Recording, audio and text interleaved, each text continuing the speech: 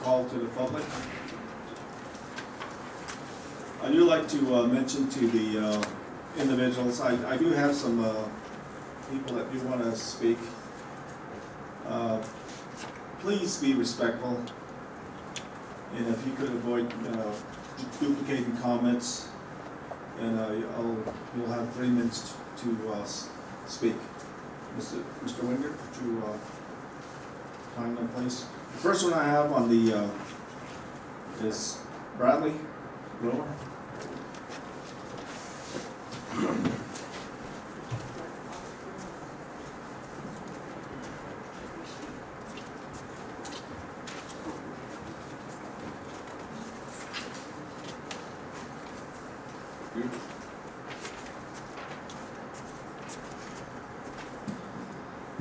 First, I want to begin with a quote.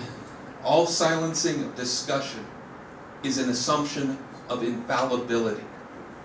It's by John Stuart Mill. When a policy is adopted which compromises the intent of statutory legislation, regardless of whether it is manifestly legal in the eyes of local authorities, such an action diminishes the credibility of government, irregardless of the opinions of those directly involved in the process of application. For any supervisor to abridge the First Amendment rights of the very taxpayers who finance their continued employment and the services enjoyed by their district is a fundamental breach of the most basic and inalienable right afforded American citizens. Without a cause constituting obscenity, under the Miller test, inflammatory language inciting imminent lawless action, or an attempt to market a commercial product, there's simply no commonly recognized protection afforded a public body in order for its members to conveniently avoid public criticism. Previous to the establishment of the United States of America, the English crimin- criminal common law of seditious libel established that criticism of the government was a crime. This law provided an assumption that comments describing a poor opinion of government were always illegal, even when those statements were factually correct. This type of archaic and restrictive attitude is best left as a historical reminder of our tyrannical past rather than as some new standard meant to symbolize Apache County government circa 2014.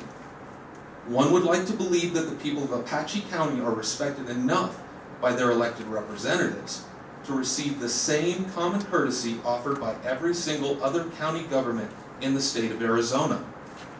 The most effective method for demonstrating that kind of respect would be the inclusion of an agenda item involving discussion and possible approval of a binding resolution which would permanently ensure the call to the public at every Apache County Board of Supervisors meeting from this time forward. Thank you. Thank you.